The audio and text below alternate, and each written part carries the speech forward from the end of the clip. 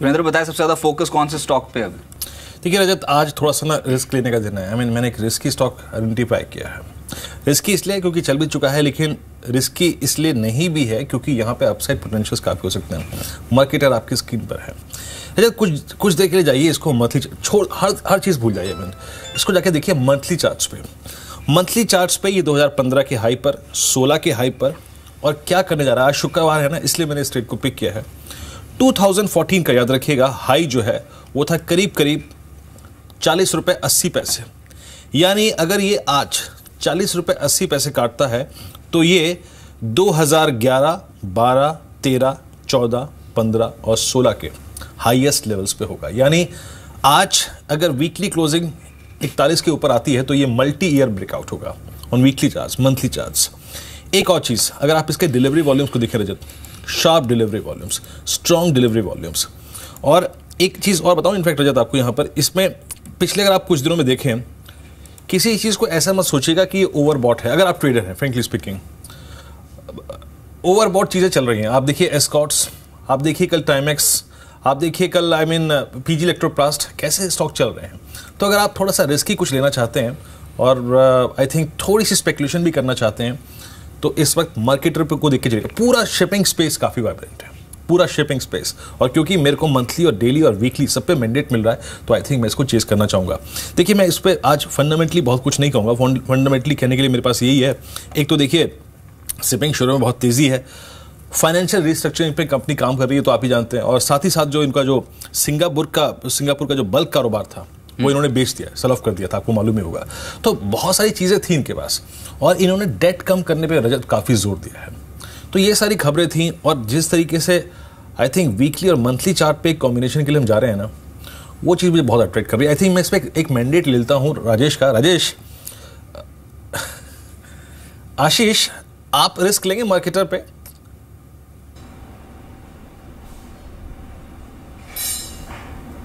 देखिए आपने काफ़ी अच्छे से एक्सप्लेन तो कर ही दिया। आई थिंक uh, जिस तरह के फैक्टर्स आप uh, आगे हाईलाइट uh, कर रहे हैं उस हिसाब से तो काफ़ी एक्साइटिंग अपॉर्चुनिटी लग रही है इन लेवल्स पर जहाँ पे मार्केट में बहुत इजी नहीं है अच्छी अपॉर्चुनिटीज़ को ढूंढ करना ढूंढ के लाना। सो आई आई आई आई डेफिनेटली फील कि ये सेक्टर में भी एक सेक्टोरल इंटरेस्ट आ सकता है और और दिख भी रहा है थोड़ा थोड़ा और डाउन साइड काफ़ी लिमिटेड है और गवर्नमेंट के कुछ इनिशिएटिव्स हैं जो इस सेक्टर के लिए भी वारंटेड है। जैसे कहते हैं ना एक एक करके गवर्नमेंट डिसीज़न ले रही है। I think something is ahead of us for this sector as well so I think it's a good pick Virendra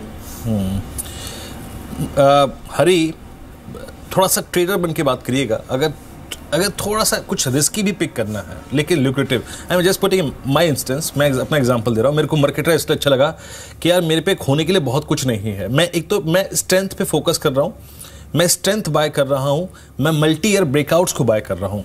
और आप आई थिंक इस प्रोस्पेक्टिव से क्या सही समझते हैं? Where you are buying strength और आप रिस्क रिवॉर्ड रेशो काफ़ी अच्छा देख रहे हैं। देखिए जहाँ तक मार्केटर का सवाल है आपने बिल्कुल सही फरमाया कि 2011-12 से ये स्टॉक एक डाउन ट्रेंड में है और इसका इस, इसका लॉजिक और कारण बहुत साफ़ है कि 2012 में बॉल्टिक जो फ्रेट इंडेक्स है ड्राई वो पीक हुआ था और वहाँ से it's on down trend see, फ़िलहाल हमने एक बाउंस देखा बॉल्टिंग इंडेक्स में, उसमें कोई खास अपमूव देखा नहीं है। तो अब तक जो भी हमने मार्केट पे बाउंस देखा है, वो प्योरली उम्मीदों पे कायम है और कोई खास फंडामेंटल चेंजेस पे कायम नहीं है। तो मैं मतलब कि ऐसे हालात पे कोई स्टॉक को खरीदना शायद एक इन्वेस्टमेंट परस्पेक्टिव से अच्छा नहीं होगा। मैं आपसे बिल्कुल सहमत हूँ कि मोमेंटम स्टॉक के साथ है तो मोमेंटम के नज़रिए से डेफिनेटली खरीद सकते हैं। बट अदर देन मोमेंटम मैं शायद इस स्टॉक को नहीं खरीदूँगा। चलिए, किरण जाजू जी हमारे साथ जुड़े हैं। किरण जी, नमस्कार, स्वागत है आपका। सर, यही बात हो रही है कि मार्केट्स पे जिस हिसाब से इसमें लिक्विडिटी डिविडेंड रैली देखने को मिल रही है, क्या खरीदना चाहिए? आपके रेडार पर बताएँ, सर स्टॉक्स कौन से हैं? टॉप थ्री ट्रेड्स अगर आज के लिए आइडेंटिफाई करने हो टेक्निकल पर्सपेक्टिव से तो वो बताएँ। पहले तो मार्केट बहुत ही अच्छा दिखाई दे रहा है। कोई खराब नहीं है। कल भी हमारी बात हो रही थी तब मैंने यही कहा था कि इधर से 8650 तक जाने की इस, इसमें स्ट्रेंथ दिखाई दे रही है। डेरिवेटिव डेटा भी ऐसे ही सजेस्ट कर रहा है कि हर हर पुट राइटिंग में बहुत ज़्यादा ताकत दिखाई दे रही है और on the higher side out of the money calls पे बहुत सारा इंटरेस्ट दिखाई दे रहा है। तो मेरे ख्याल से 8650 तक जाने की स्ट्रेंथ है। 8650 का एक बार रिव्यू ले लेना चाहिए। जो स्टॉक्स की बात करें तो अतुल मुझे बहुत अच्छा दिखाई दे रहा है चार्ट्स पे। एक एसेंडिंग ट्रायंगल पैटर्न का ब्रेकआउट दे चुका है बहुत अच्छे वॉल्यूम्स के साथ है। तो इस इस स्टॉक को खरीद खरीद कर चल सकते हैं। Stop loss two zero six seven रखना चाहिए और टारगेट्स 23, 24 के होंगे जो कि बहुत अच्छी मूव आपको देखने को मिल जाएगी इन करंट लेवल से। दूसरा स्टॉक होगा सद्भाव जहाँ पे कल भी हमने एक अच्छा मूव देखा था और मेरे ख्याल से पिछले तीन महीने का कंसल्टेशन ब्रेकआउट हमें देखने को मिल रहा है। और इधर से स्टॉप लॉस बहुत नज़दीक है 296 का और टारगेट्स के लिए 330 325 से 330 अगले दो तीन ट्रेडिंग सेशन में देखने को मिल जाने चाहिए। दूसरा है टीसीआई जहाँ पे वापस एक बार एक अच्छी मोमेंटम आई है। सारे सारे लॉजिस्टिक स्टॉक्स में वैसे भी हम मोमेंटम देख रहे हैं। तो उसी का एडवांटेज टीसीआई में भी देखने को मिल जाएगा। इसके लिए स्टॉप लॉस सजेस्ट करूँगा 342 का। और टारगेट्स के लिए करीबन 367 से 372 के टारगेट्स आपको देखने को मिल जाए, मिल जाने चाहिए। आशीष, थोड़ा सा अब हम बैंक से निकल गए। आई मीन थोड़ा आईटी की बात भी हमने कर ली। ये फार्मा ने काफ़ी कॉन्फिडेंस दिखाया। और आई थिंक आप ये देखिए कि जून, जुलाई में लोगों ने बड़ा इंटरेस्टिंग समझा प्राइस को एंड फ्रेंकली स्पीकिंग माहौल भी थोड़ा सुधरा। आप देखिए जिस प्रकार के सी वाई फिफ्टीन का लास्ट क्वार्टर गुजरा और जिस प्रकार का सी वाई सिक्सटीन का फ़र्स्ट क्वार्टर गुजरा, जितने नेगेटिव वॉइस थे यूएस एफ़ डी को लेकर, वो थोड़े से कम होने शुरू हुए हैं। एक कैचअप हुआ है अगर आप देखें पिछले एक डेढ़ महीने में। आपने एग्जैक्टली कहाँ कहाँ इंटरेस्ट शो किया है और अपने क्लाइंट्स को क्या इक्विपमेंट कराया है आपने फार्मा में इस वक्त? देखिए आप काफ़ी इंटरेस्टिंग ऑब्जर्वेशन है। डेफिनेटली यहाँ पर अब एक तरह की अगर मार्केट टर्म्स में बोलूँ तो शॉर्ट कवरिंग देखने को मिली क्योंकि काफ़ी नेगेटिव माहौल था इस सेक्टर के आसपास। अब कुछ जो अच्छे काउंटर्स हैं अच्छी कंपनी है वो संभल भी पाई। ऐसा नहीं है उस उस समय एक एक एक, एक टाइम भी गुजरा वीरेंद्र और जो U S F D concern आए कंपनीज़ ने उनको एड्रेस किए कुछ अपनी क्वालिटी की वजह से जल्दी कर पाती हैं कुछ कुछ टाइम लेती हैं। तो उस हिसाब से एनालिस्ट फिर वापस अपने ड्राइंग बोर्ड पर जाते हैं और समझते हैं कि कौन सी कंपनीज़ ठीक जा रही हैं किन की डिपेंडेंसी कम हो, होती जा रही है यूएस से रिलेटेड और किस तरह के एक्विजिशंस हेल्प करेंगे आगे अप्रूवल्स हेल्प करेंगे।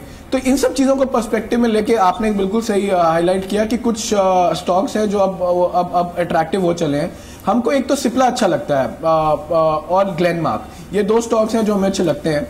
दोनों के रीजन ऑलमोस्ट सेम है. आई वुड से कि dependency on the on US and also कुछ आने वाले टाइम में कुछ न्यूज़ फ्लो सिप्ला के केस में मैं ऐसा बोलूँगा, किस तरीके से उनको उन्होंने मैनेजमेंट रिजिक किया और और कॉस्ट कटिंग करी। उसका फ़ायदा अब आपको आने को मिलेगा और ग्लैनमार्क डेफिनेटली हमें आ, आ, और, और भी अट्रैक्टिव लगता है। हम्म, लेकिन कुछ और स्टॉक्स वॉच देख लेते हैं। उज्जीवन यहाँ पर केयर ने एनसीडी की रेटिंग जो उसको बढ़ाया है। एनसीडी की रेटिंग ए से बढ़ाकर ए प्लस की है केयर ने तो उज्जीवन आज कहीं ना कहीं सुर्खियों में है। और साथ साथ अदानी पोर्ट्स यहाँ पर इंडिया रेटिंग्स ने एनसीडीज को ए ए प्लस रेटिंग दी है तो एनसीडीज की रेटिंग अपग्रेड हुई है। इसका असर अदानी पोर्ट्स पे हो सकता है आता हुआ नज़र आया। और एक और कंपनी है ब्लू स्टार अल्फोत्याम टेक के साथ करार किया। यूए में कंपनी के प्रोडक्ट बेचने के लिए यह करार किया गया है। ब्लू स्टार आज फोकस में रहेगा। तो कुछ स्टॉक्स जहाँ पर फोकस ऊपर से आईसीआईसी बैंक थोड़ी देर पहले हम बैंकिंग सेक्टर के ऊपर बात कर रहे थे। आईसीआईसीआई प्रोडेंशियल लाइफ इंश्योरेंस अगले हफ़्ते आईपीओ की अर्जी दे सकती है।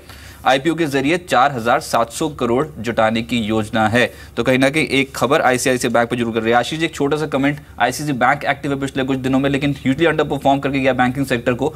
आपकी निजी क्षेत्र के बैंकों पर क्या व्यू है? देखिए आई थिंक uh, जैसे हम बता रहे थे पीएसयू में एस uh, से फिर भी एक कंफर्ट आता है बाय डाउन साइड जैसा सिनेरियो बिल्ड होता है। Same is happening with ICICI both quality banks have have seen the worst hit when we were seeing correction in banking sector and way beyond normal situation I would like to say that अब ये जो आपने news दी ये भी एक important uh, factor है जहाँ जो कोई ना कोई डाउन साइड को लिमिट करती है। देखिए जिस तरीके का मूव पिछले कुछ दिनों में आया है मुझे लगता है प्रॉफिट टेकिंग तो आ, सब जगह आएगी। आईसीआईसी बैंक में भी थोड़ी बहुत आज आज भी देखने को आपको शायद मिले। लेकिन मैं वही बोलूँगा कि 220 225 के लेवल अगर किसी वजह से आते हैं और और अगले हफ़्ते मार्केट थोड़ा प्रॉफिट टेकिंग देखती है तो I think for medium to long term investors it will be a good opportunity